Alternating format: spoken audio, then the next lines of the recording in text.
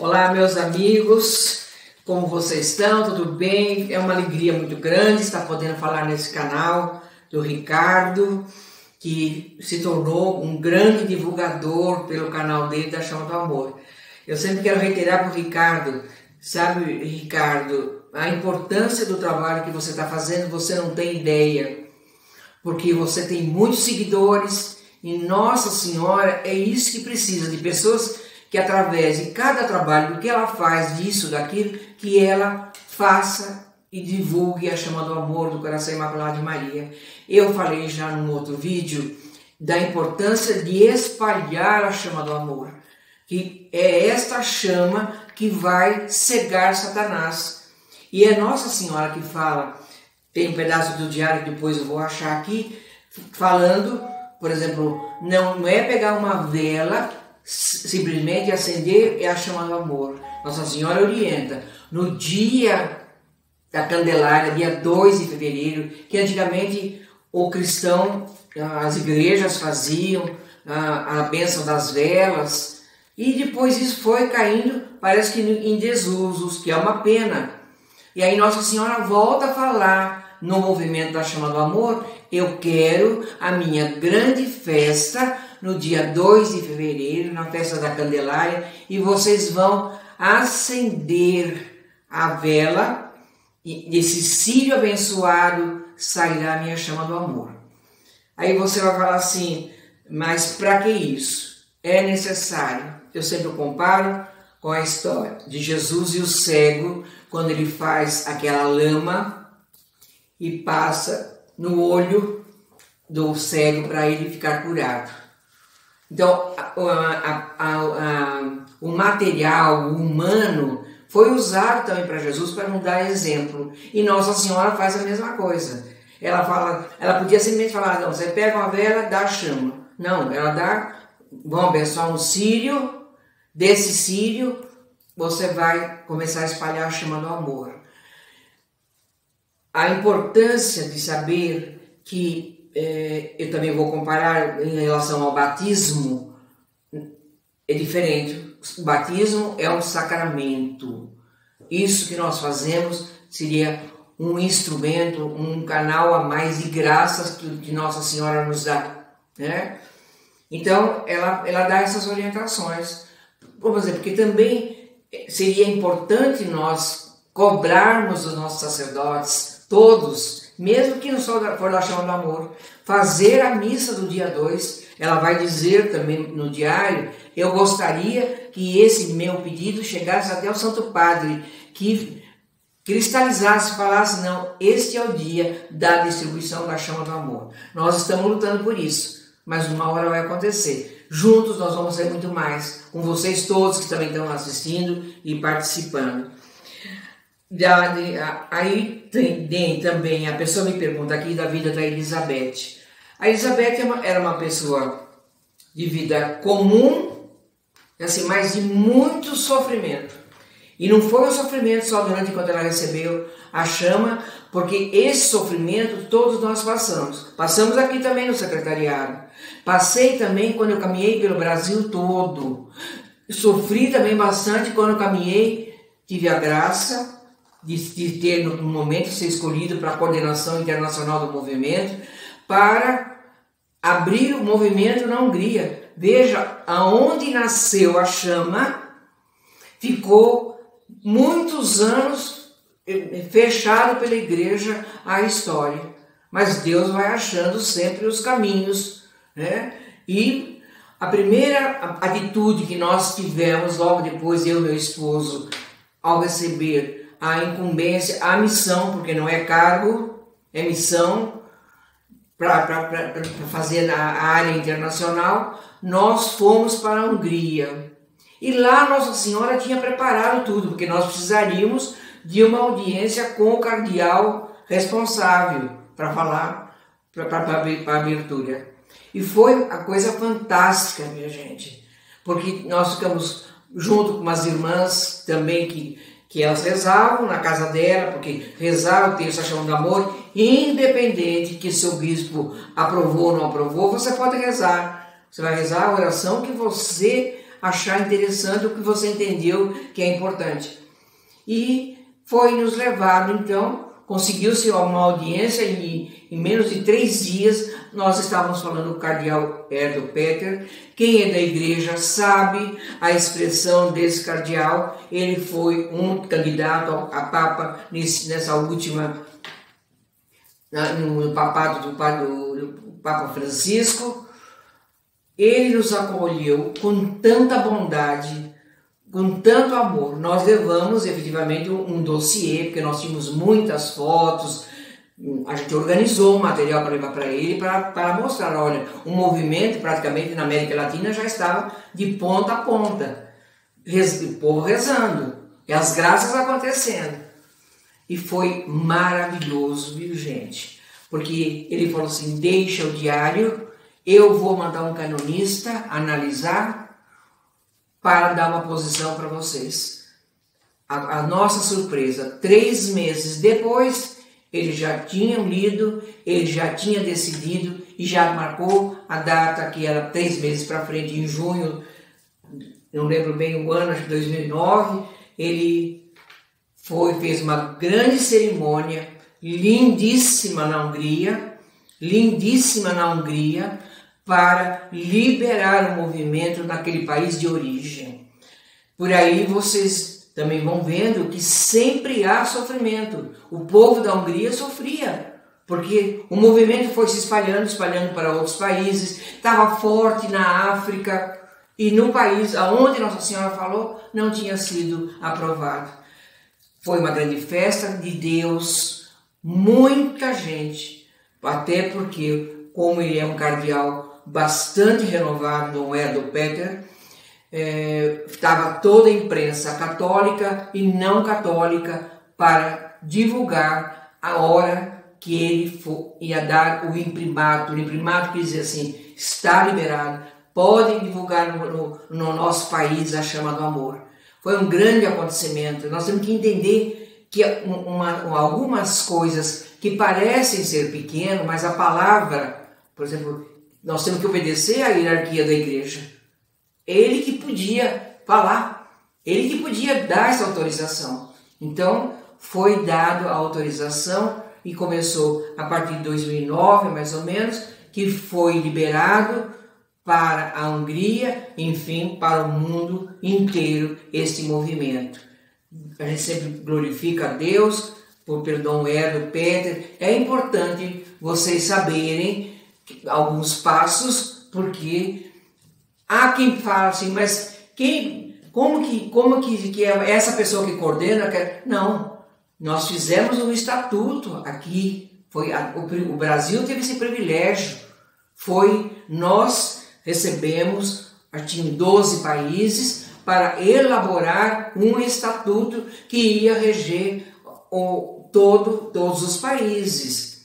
Então, não, não, for, não são coisas que foram feitas assim, mais ou menos, agora eu dou é para essa o coordenador, agora. Não, tem lá algumas normazinhas para seguir, quem vai, quem vai coordenar. Tem uma coordenação, como é o caso aqui do Brasil.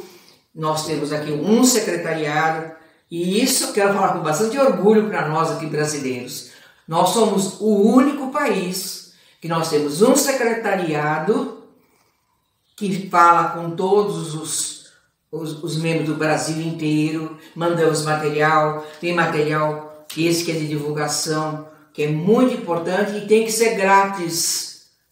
Isso não pode ser vendido, porque tem muitas comunidades que não têm condições para fazer. Então aqui tem a Alice, que vocês também vão conhecer uma hora, já conheceu, bastante conhecido do Ricardo, e que eh, faz os pacotinhos toda vez para mandar, manda também uma velhinha com a que foi acesa nesse sírio para a pessoa começar a passar na cidade dela, no bairro dela, no estado dela. Isso eu quero reiterar mais uma vez. Isto não pode ser vendido. Depois a gente pode mandar para o Ricardo. Tem aqui também então umas orações que Nossa Senhora vai pedindo no decorrer das falas com a Elizabeth, que nós temos que rezar. Por exemplo, uma delas é uma oração lindíssima, que é o juntemos os nossos passos. Vou rezar, porque se vocês não ouvi, nunca ouviram, vão ouvir agora e vão saber da, o que significa essa oração. Ela fala assim: juntemos os nossos passos no mesmo ritmo, juntos estendamos as nossas mãos para que recolha os meus bens, juntos pulsem os nossos corações. O mesmo sentimento penetre no nosso íntimo, o mesmo pensamento proceda do nosso espírito. Nossos ouvidos escutem o mesmo silêncio, nossos olhares se encontrem se fundem em um só olhar. Nossos lábios peçam juntos misericórdias ao Pai Eterno. Então, agora, quando você vai entender, Nossa Senhora fala assim: esta oração, cada vez que vocês rezarem, ela transtorna os planos do mal. Não é transformar, transtornar. Você já viu uma pessoa transtornada? Como ela fica sem rumo, ela não sabe o que fazer. E é isso que acontece com Satanás. Ele fica transtornado, porque na verdade é Jesus que, que ditou e falou para Elizabeth: precisam rezar essa oração. E ele fala: juntemos os nossos passos no mesmo ritmo. É para você juntar os passos com Jesus. É para você, fala depois, que as nossas mãos recebam os mesmos bens. Tudo que for acontecendo, nós, nós vamos junto com Jesus recebendo. Por exemplo, essa graça de poder falar, falar nesse canal é uma graça muito grande. Com certeza Jesus está conosco, está feliz que isso está acontecendo. Nós vamos recolher esses bens todos que vão acontecer através desse canal. E ele continua. Que os nossos corações pulsem juntos com o dele. Porque a gente também vai passar a olhar as pessoas com o olhar de Jesus. A gente vai ter misericórdia para as pessoas nós julgamos muito, eu estou falando, eu me incluo. A gente, com facilidade, a gente faz julgamentos. Né? E Jesus nos exorta nessa pequena oração que, que os nossos corações possam bater junto, e eu sempre penso, eu particularmente a Rosária, quando eu tenho que tomar uma atitude, falei, será que era uma atitude que Jesus teria ou não? Então a gente vai refletindo. Depois ele fala, o mesmo sentimento que, que, que saia do coração de Jesus é o sentimento que saído de nós, de compaixão das pessoas, de misericórdia, de caridade, de você não passar por um mendigo na rua e olhar com desprezo, desviar dele. Quantas e quantas pessoas que a gente vê fazendo isso com tranquilidade. Tá vendo um mendigo lá com a mãozinha estendida e o que Jesus faria? O que Jesus faria? Acha, tem muitos grupos que dão comida à noite para os mendigos, outros levam agasalho, outros levam aquilo. São atos de misericórdia. São atos de misericórdia. E que é isso que Jesus fala aqui. O mesmo sentimento do que saia do nosso íntimo. O mesmo pensamento, o mesmo pensamento procede do nosso espírito, foi o que eu acabei de explicar. Nossos olhares se encontram, se fundem em um só olhar. Então, nós vamos olhar com o olhar, como, já falei, com o olhar de Jesus para cada situação. Chega uma pessoa chata, vou falar assim, pessoa que a gente não gosta muito, pessoa que a gente já fez uma opção de julgamento. Olhe com o olhar de Jesus. Lembre sempre de Maria Madalena, que eu sou particularmente muito devota dela. O que essa mulher aprontou, vamos dizer assim, do ponto de vista humano, ela tinha de fato uma casa de prostituição. É, era isso a vida de Madalena. Conta-se nesse livro da mística de Valtorta os detalhes, como ela recebia os homens dela lá, como ela se enfeitava, os perfumes que ela usava. E, e de repente, Jesus, ela resolve um dia lá escutar o que estão falando desse Jesus que está passando e faz milagre, fica lá num cantinho, debocha, vai com, alguns seguidores dela. Só que em um momento, Jesus tocou o coração de Maria Madalena, tocou de uma forma tão profunda, tão profunda, ele sabia todinho da vida de Maria Madalena. Ele não desprezou Maria Madalena, ele acolheu e ela passou a ser a grande discípula de Jesus. De, das mulheres, é o que mais se fala da vida de Maria Madalena. Né? E, e ela também foi a que pôde ver Jesus logo depois do, da ressurreição. Ela ficou no coração, era tão amado esse Jesus, ela estava tão inconformada com a morte dele, ela não foi dormir. E aqui faço uma exortação também, né? A gente às vezes fica dormindo para as coisas de Deus. Maria Madalena não dormiu, ficou lá na, na, na, dormindo lá do lado da tumba de Jesus. É lógico ela não viu a hora que a pedra rolou, coisa e tal, deve ter adormecido, mas ela viu quando Jesus, que já estava aberto, e ela entrou, todos sabem, numa aflição que tivesse roubado o corpo do meu Senhor, como ela fala, e é, é ela que vê Jesus a primeira vez, depois da ressurreição. E eu quero ver Jesus. Não sei quando vai ser a minha ressurreição, mas eu quero ver Jesus. E, e também, para isso, nesse momento que eu estou aqui na terra, eu tenho que lutar para ver Jesus todos os dias. Eu tenho uma tela na minha casa, a Alice também tem, agora já começou a se espalhar, que o Jesus tem um olhar lindo. Até na próxima vez que eu for fazer o vídeo, eu vou trazer para vocês verem. Todos os dias de manhã, agora eu coloquei bem na frente da minha cama. Todas as noites, todas as horas do dia que eu posso ir lá trocar meus olhares com Jesus. Vocês não sabem o bem que ele faz. E essa tela, o olhar dele é muito lindo.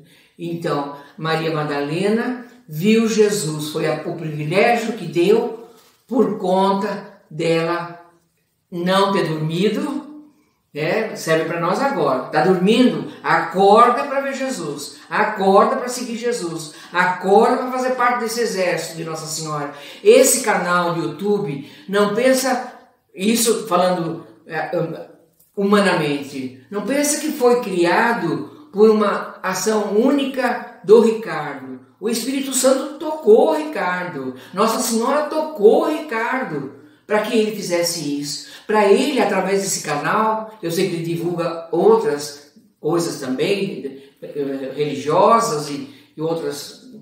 Porém, ele foi tocado de uma forma grandiosa para usar esse canal para arregimentar pessoas do, do, da, da chama do amor. E que vocês não sabem, para nós, a alegria, porque algumas pessoas nós já tivemos contato, já falamos, já foi mandado material, e com certeza será muito, muito mais ainda multiplicado.